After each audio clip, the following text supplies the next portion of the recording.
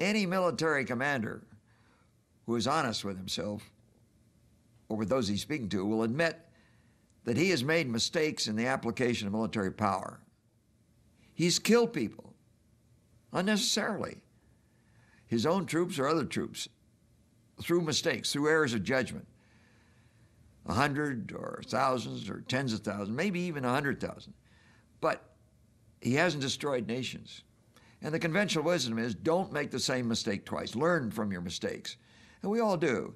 Maybe we make the same mistake three times, but hopefully not four or five.